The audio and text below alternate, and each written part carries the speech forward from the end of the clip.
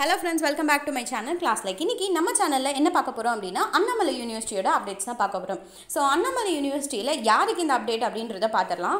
அதாவது ஆன் கேம்பஸில் படிக்கிறவங்களுக்கு ரெகுலரில் படிக்கிறவங்களுக்கு தான் வந்து இந்த அப்டேட் ஸோ இது என்ன அப்டேட் அப்படின்னு பார்த்தீங்கன்னா அவங்களுக்கு வந்து இப்போ எக்ஸாம் நடக்கிறதா இருந்துச்சு. பட் இப்போ அந்த எக்ஸாம் வந்து இந்த பேண்டமிக் சுச்சுவேஷன் கண்டினியூ ஆகிறதுனால அதாவது இப்போ ஃபுல் லாக்டவுன் போட்டாங்கல்ல ஸோ இந்த சுச்சுவேஷன் இருக்கிறதுனால அவங்களுக்கான எக்ஸாம்ஸை வந்து போஸ்ட்போன் பண்ணியிருக்காங்க ஸோ என்னைக்கு போஸ்ட்போன் பண்ணியிருக்காங்க அப்படின்ற டீட்டெயில்ஸ் வந்து அப்லோட் பண்ணலை. பட் நம்மளோட அஃபிஷியல் வெப்பேஜ் காலேஜோட அஃபிஷியல் வெப்பேஜில் நீங்கள் போய் பார்த்தீங்கனாலே வந்து அதிலே சொல்லியிருப்பாங்க on campus exam time table for May twenty twenty one exam postponed due to the lockdown revised time table will be announced later அப்படின்னு சொல்லி சொல்லியிருக்காங்க ஸோ இந்த லாக்டவுனால் வந்து உங்களோட எக்ஸாம்ஸ் வந்து போஸ்ட்போன் பண்ணியிருக்காங்க. அதுக்கான டைம் இப்போ வந்து ஆல்ரெடி எக்ஸாம் ஃபீஸ் பே பண்ணி டைம் டேபிள் வந்துருச்சு. பட் இப்போ வந்து போஸ்ட்போன் ஆனதுனால ரிவைஸ்டு டைம் டேபிள் வந்து நாங்கள் இதே மாதிரியே அனௌன்ஸ் பண்ணுவோம் அஃபிஷியலாக அப்படின்ற மாதிரி சொல்லியிருக்காங்க.